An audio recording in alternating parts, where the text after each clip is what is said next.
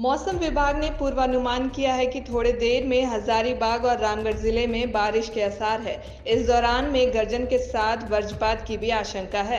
ज़िले के कुछ भागों में 30 से 40 किलोमीटर प्रति घंटे की रफ्तार की हवाएँ भी देखी जा सकती है। मौसम विभाग ने येलो अलर्ट जारी कर लोगों को सावधान किया है। रांची, गुमला, लातेहार और लोहरदगा ज़िले के कुछ भागों में अगले एक से तीन घंटे में बारिश के आसार है। इस दौरान में गर्जन के साथ वज्रपात की भी आशंका है।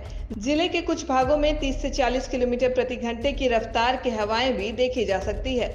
मौसम विभाग ने येलो अलर्ट जारी कर लोगों को सावधान किया है। किसानों से खास अपील की गई है कि वे तब तक खेतों में न जाए जब तक मौसम सामान्य न हो जाए। लोगों को बारिश से बचने के लिए पेड़ के नीचे खड़े न होने की हिदायत और सुरक्षित स्थान पर शरण लेने की सलाह दी गई है। झारखंड में मानसून आने के संकेत मिलने लगे हैं। दो से तीन दिनों में झारखंड में संथाल परगना के रास्ते मानसून आ सकता है।